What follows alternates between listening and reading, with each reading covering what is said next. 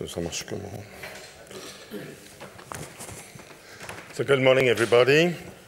So I will try to convince you that this is very important to work on very uh, long uh, wavelengths relief, so plateaus and plains, if you want to be able to compare the topographic and stratigraphic signal with what we see at the scale of the mantle dynamics. So I was expecting at the beginning to speak about Europe, but unfortunately I will have not so much time and we will focus mainly on Africa. So that was part of a project where uh, a lot of, of other people from Grenoble and Toulouse University were involved. So we mainly talk about uh, mountain belts, we talk about rift shoulders, but there are a lot of relief uh, in the earth that are very important. This is all the plains and plateaus or domes. And if we look around the world, there are several of those features. Uh, the most spectacular one, and we have to discuss about it, uh, is the South African or Kalahari Plateau. But we have also very exciting example in Brazil, the San Francisco Craton, the Serra do Mar, and, and so on, in Antarctica, uh, in India, or in, uh, in Western uh, Australia.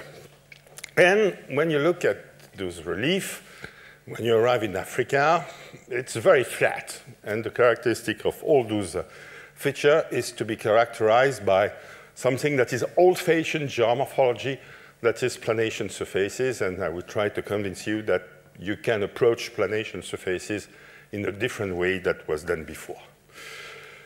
So we'll start looking at Africa, and the characteristic of Africa is to have a bimodal distribution of the elevation, and you have two peaks.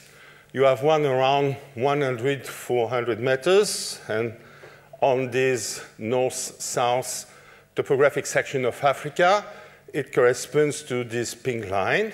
Okay, so this is the mean 300, 400 meters, and we have another peak that is between 900 and 1,100 meters. And this is this second peak line. And if you look at what it corresponds, the first one corresponds to what we can call the Sahara Plain, okay?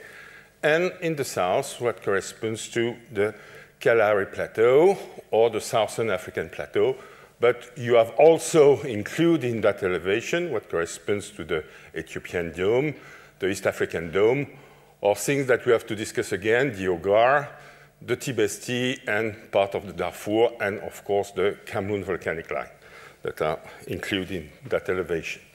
So the question is, what's the processes at the origin of those plateaus, those planation surfaces, and what, how we can relate that to mantle dynamics. So just a, a few words about Europe, and mainly Northwest Europe, is just to show you that in, uh, in France, even it's not as much as spectacular than in Africa, we have those kind of similar, of similar features. For example, we have a very nice example of plateau that is at the border with Belgium, that is uh, the Ardennes. We have the same from the Massif Central. We have the Cornwall, and we have some in, uh, in France, and they, they, they show the same type of structures that uh, I will show you in a couple of minutes in Africa, and I think that this is something important to work on in the next future. Okay, first something that is obvious for some people in that room, but looking at the literature, it's not the case for everybody, is uh, please, when you look at a plateau, the age of the planation could be very different from the age of the uh, uplift. And then it means that you can get a story for the top of the plateau, and you can get another story that corresponds to uh, the growth of the relief associated with uh, this uplift. So this is something important, and I will show you a couple of examples uh, in a few minutes. Okay, I don't want to do a course on the different uh, processes at the origin of uh, the planation surfaces. They are very abundant uh, old literature. Uh, there are several processes, but in Africa, and this is also the case in Europe, is that we have mainly two types of processes that are at the origin of the planations. The first one, and I will define that in a, in few minutes, it's what we call the pediplane. and another one that we call an etchplain. And this is also the same story if you look, for example, at the Ardennes or the French Massif Central. So what's an etchplain? So this is a, a very efficient process. This is a surface that results from a weathering. This is something that is chemically controlled. So it means that the way to get a planation is that you develop laterites, okay, and because of the chemical weathering of the laterites, you, you, you, you wait after millions or tens of million years something that is flat. For the one that are not familiar with what is a, a laterite, and we will see that Africa and a lot of continents of the world are characterized by that kind of processes. So this is a kind of, sorry, uh, of crazy chemical machine with uh, two levels of evolution. The profile is getting down because of uh, base level fall of all the system. We get the first weathering where all the silicate are transformed except the quartz into kaolinite. This is this white clay over there. And then a second one where everything, even the quartz, is dissolved, and what is left is only aluminium and iron, and you get the crust. And here, the next example in Namibia of this uh, second front, that is uh, the transformation, the, dis the, disappearance of the kaolinite that is, uh, that is uh, eaten by the, by the crust. I have to tell you that there are few studies or no studies that explain how behave those weathering through time. There are no physical model that can explain what a weathering front mean, how it can evolve through time, and looking how important is that kind of feature. When you look at African or other continents, Brazil, same story, it's really a need to understand how evolves through time those kind of weathering profile, what control the base of those weathering profile. This is something that is really poorly understood. So what is interesting is that those weathering, we can map them and we can date them. And the way to date them is what we did, is that you can do classical work. It's just looking sediments. You date the sediments above, the sediments uh, under. You can date them just by intersection of volcanics, and we're lucky in Africa. We have a lot of volcanics in the Hoggar, in the Cameroon volcanic line, in the Virunga. So we have several places where it's possible to see weathered rocks dated and above fresh uh, volcanics, so we can date them. Another technique when you get a rocks that is manganese rich is that you can date using argon-argon techniques. This is something that is very efficient. And another one that is uh, that you can get some problem with, that is paleomagnetism of the iron on the, on the crust, or the duricrust. So this work was done by our colleagues of uh, de CEREGE in Marseille using argon-argon technique and our colleagues of Rennes.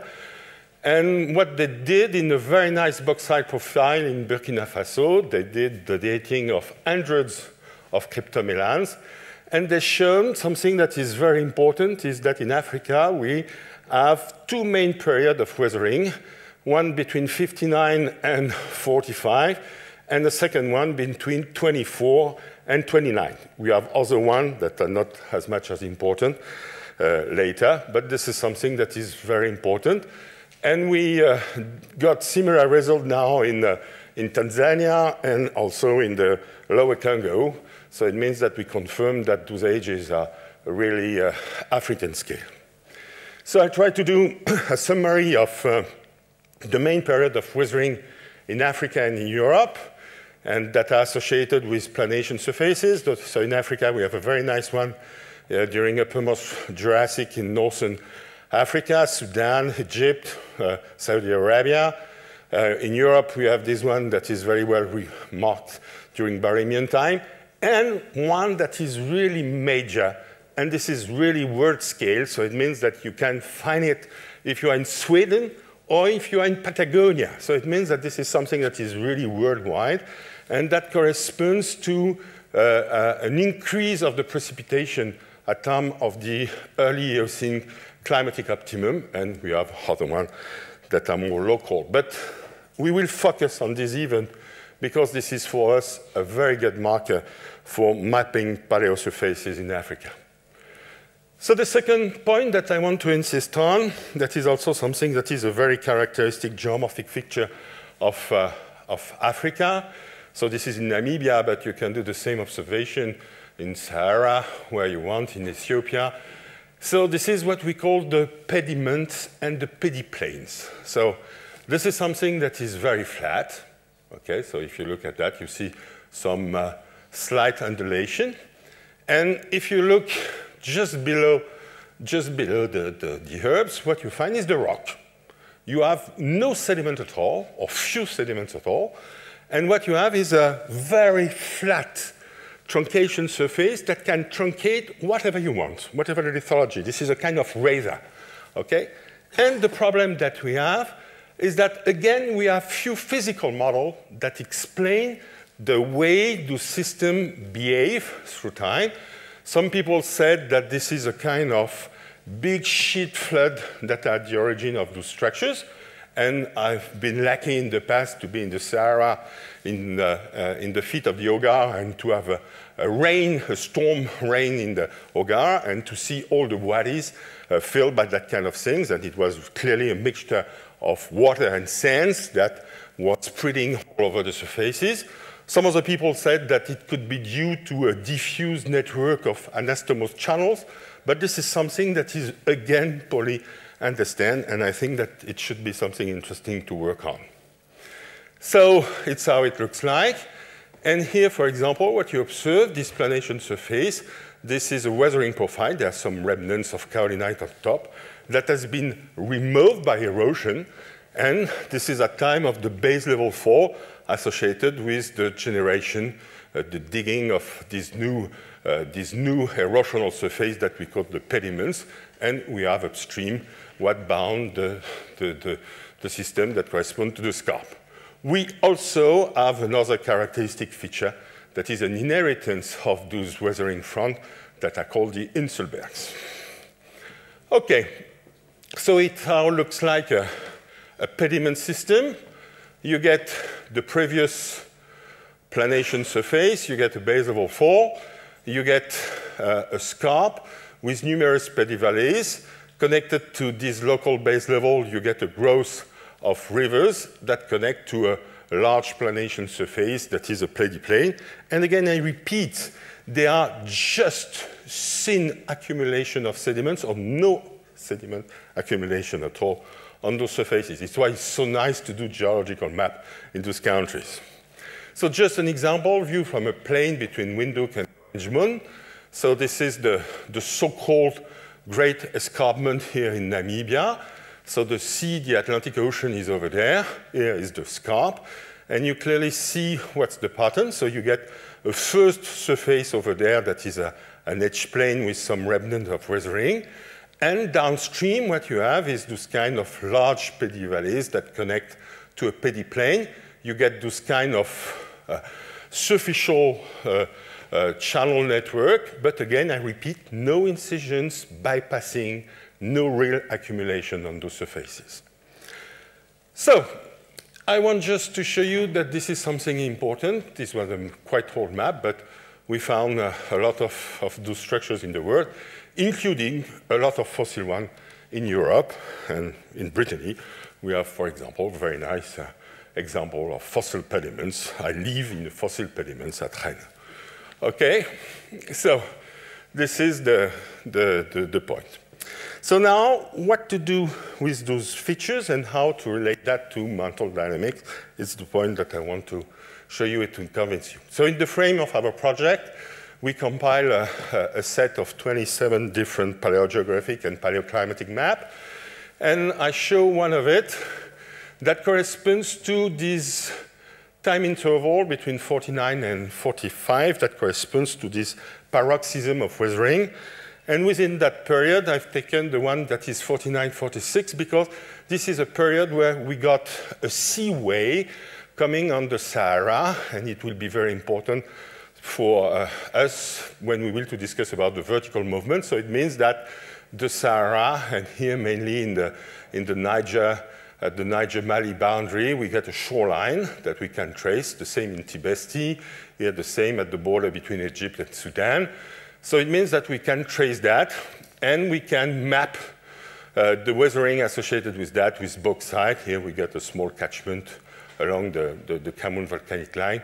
Bauxite again, and here a remnant relief that I have to discuss about in a couple of minutes. But please remember that we have a, sea that is made of carbonate. So this is interesting. It works well, so it is mainly chemical erosion. So what you expect to get is chemical uh, sedimentation, then carbonates, no, or few siliciclastic, so it works well. Okay, so the work that we did is to map this surface. And what's the way to map it? So we can look at sediments, that's easy. We can look at some uh, uh, wave cut platform looking at pebble lags. It's what we did in, uh, in Niger and in, uh, in Mali. You can look at the preserved weathering profile, or you can look at the degraded weathering profile, where what you observe is mainly, uh, uh, is mainly Inselberg and then so on. Okay? And here on this section, you can see what's the present-day geometry of this weathering profile.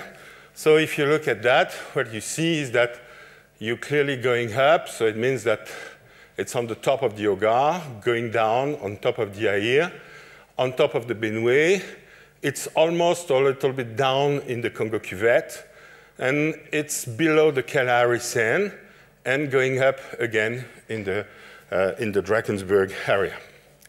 So we can do exactly the same story on the east-west section. The one that is interesting is the one crossing the East African Rift, where it's possible to identify it. We did a lot of field studies in Rift Albert, Albert Rift, and in Uganda, where we can trace it quite well. And again, this weathering surface is going quite up in the, in the, in the eastern branch, the Kerio Rift.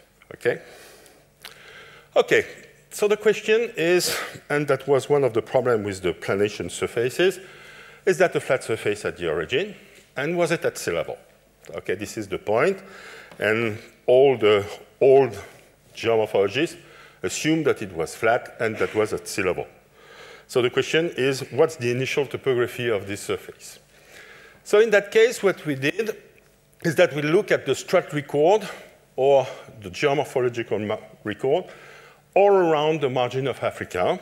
We got access to several seismic lines and wells, and we were able to get ages to quantify the uplift and the idea of the, the, the things. And so the way we did that is to look at the stepping of the pediments, dated pediments by or uh, argon-argon technique or by intersection with sediments or by intersection with volcanics. So it means that we were able to get ages and then to discuss what's the timing of the base level fall, or something that is easier for stratigraphers is just to look at the seismic lines, uh, well dated, and to look at what we call the forced regression wedge that corresponds to a downward migration of the shoreline. And you can quantify here the amplitude of this shoreline migration. And if it is higher than 100 meters, you're sure that it has to be tectonic in origin. You have no static variation that are higher than 100 meters uh, uh, during the geological record. Okay, so it's what we do. So just a, uh, an example of what we did. This is a type of map that we, that we did. This is the mapping of the different type of planation surface pediments, doing a stratigraphy and dating them. So this is for the Congo cuvette. And we see here very nicely all those pediments involving into incised valley along the, the, the, East African dome. So it means that we can propose a timing for the growth of the East African dome, for example. And we can see that we can have local base level in the Congo that is different from the one in the, from the, one in the Atlantic Ocean, so a lot of things like that, okay? And now, if I start to discuss about the uplift and really the process, and I will start by the African surface in Sahara. You remember? The one where we sure that the sea was between 49 and 46. So what's the way to quantify the uplift? So we know where is the present day elevation of the shoreline. Okay? It's between 330 and 370 million years. Okay? We can get an idea about where was the sea level at that period. So we got different reconstruction, the one of Haq, that we don't know from where is coming the data, and a lot of new data coming from different sources based on ocean volume measurements, 1D backstripping, continent flooding, the work of Dave Rowley, ice volume, and, and so on. And if you look, most of them agree about uh, a sea level between 30 and 90 meters uh, uh, at that period. Everybody agreed that Haq is overestimated. And then here, by difference, you can have an idea of how much was the uplift in that area. And we got something that is between 150 and 20 meters according to the, the, the, the type of uh, data that we care about. So I give you the answer before to convince you that it's how it evolved to uh, this time what happened in the Kalahari Plateau. The Kalahari Plateau is a two-step evolution, but it's quite continuous. So we get a first uplift during late Cretaceous time, something that it looks a more quiet period, and again, something that corresponds to a more recent uplift. And the way we did that work with Jean Braun is just looking at seismic line, doing sediment measurements about Africa, and we did two things.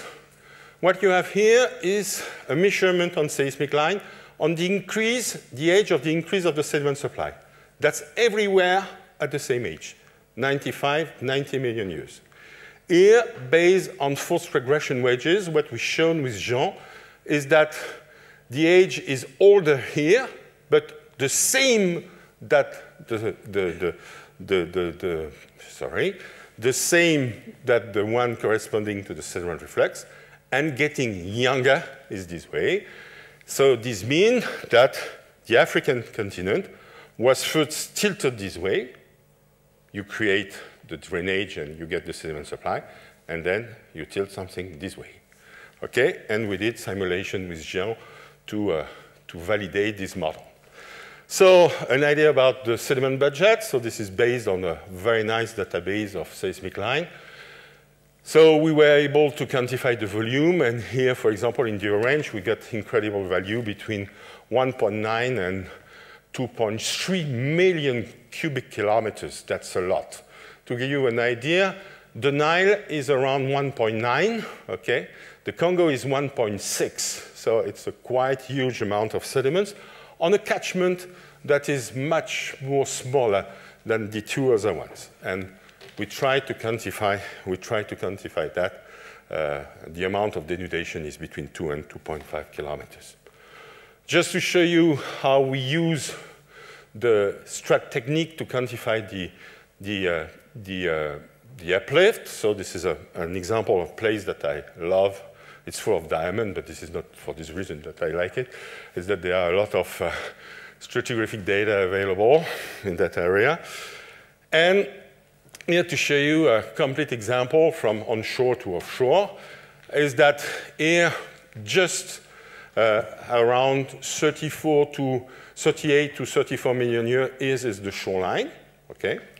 So you can see that on the field. So get first weathering profile, the African, marine flooding, delta progradation, major unconformity, aeolian staff, second laterite, so it's uh, how is the evolution of this area. Okay, and using seismic line, we're able to say where is the next shoreline. Okay, so just to show you on shoreline, so this is a delta, and you can see the offlap break migration, have an idea. And then, between the initial position and the end position, you have an idea of what's the amount of uplift.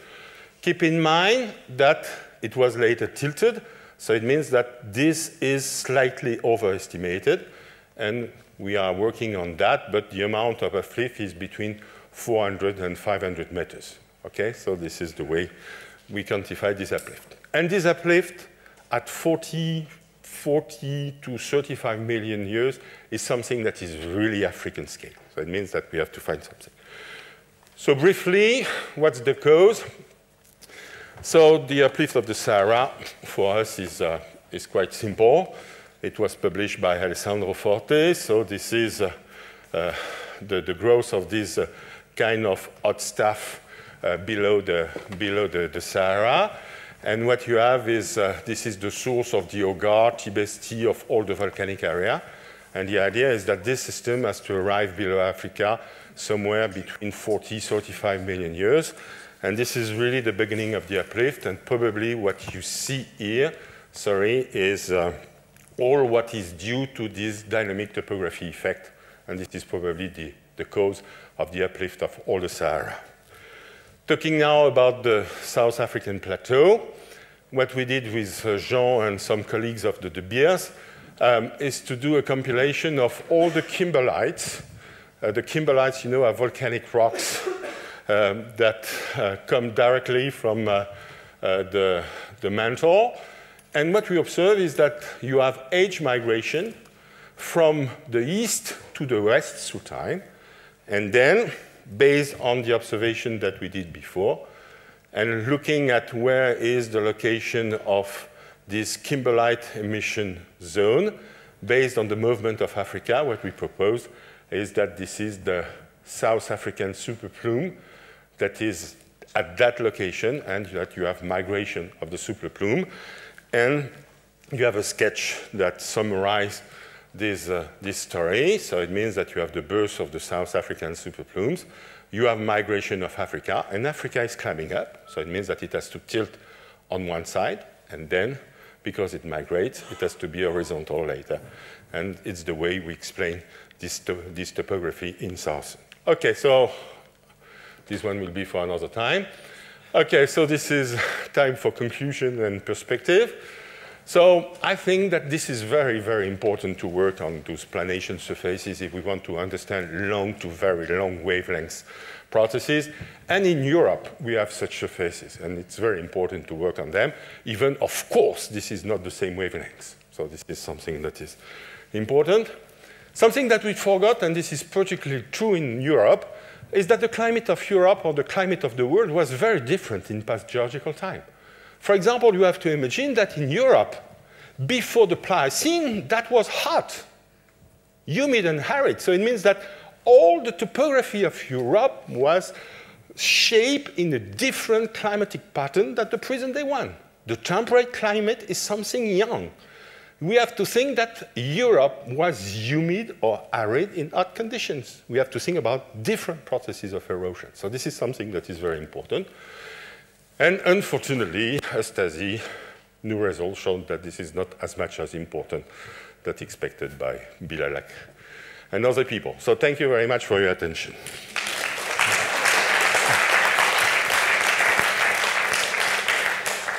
Well, thank you, François. Time for a last round of questions before we close the, the meeting. Unless you are too hungry. Yes, Laurent? And then Sean, who is frustrated from the last time. okay, thank you, François. Um, I really like the story of the uh, of the uh, uplift of the um, of, uh, of the African plateau, uh, the Jean story, uh, etc. But um, so when we think about dynamic topography in Africa, we always think about uplifts and domes, etc. Do you do you see the uh, do you have any evidence of the counterparts of subsidence because it, those uplifts should be associated with subsidence at the same time somewhere. Could it be, could it, could it partly explain the, uh, the, the, uh, the flat areas, the flat and, and, and, and, lower elevation areas? Is there any contribution from no, downwellings? That's, that's difficult to answer this question because, you know, on, on, on, one side of Africa, on the South African plateau, is that we have a major fracture zone that corresponds to the Agulhas fracture, fracture zone, and most of the of the margin are more or less controlled by those faults. So we don't know what is due to what. But this is something that we plan to do in the next project called Pamela that we, uh, that we are starting now.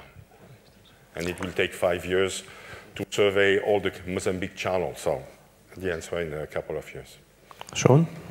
Uh, about the age of your laterites, you showed us a spectrum of argon-argon uh, ages. Uh, I didn't understand how you were picking two time periods as being dominant when it looked like you have a complete spectrum of ages at all age. So what happened is that when you get a weathering profile, you never stop the weathering. So this is something that is very important. And this is the case for all those planation surfaces. They all they, they evolve all the time.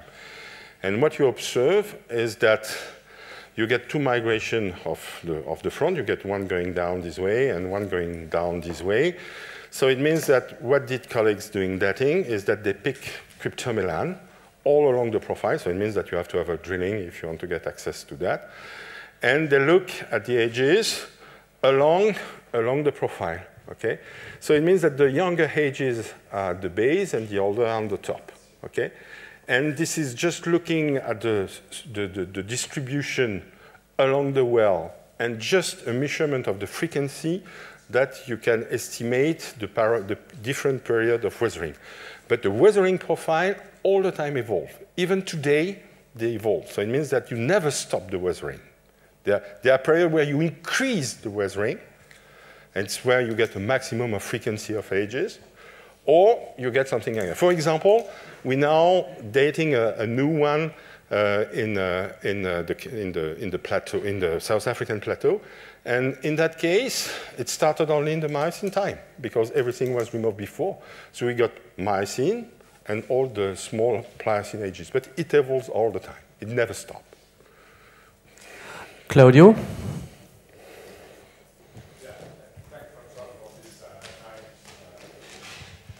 Nice view of, uh, just a very naive question. Uh, I mean, of course, this uh, planation surface is moving laterally, and the gradient you show is very low. I mean, yeah. Uh, so why we do we have to assume that it was just really flat? I did not say that this is flat. I did not say that, that it is flat. So say that. I said that it is deformed. I did not say that it was flat, and I don't care yeah, that it is flat. Why, why do we have to retro-deform? And, and I'm sure that in the South African plateau, because we now mapped remnant of the South African plateau, that the weathering profile was draping the remnant of the, of the South African plateau. So it means that in parts that was flat and near sea level, and in other parts it was not flat, and it was quite up. But it means that later it was again uplifted. Right. Okay? But I never said that it was a sea level and flat, and I'm sure this is not the case. Okay. No, I understood you retro-deform. No, no, I, I, was asking the question because that was the hypothesis of the old authors, saying that everything was flat and at sea level. And in South Africa, this is wrong.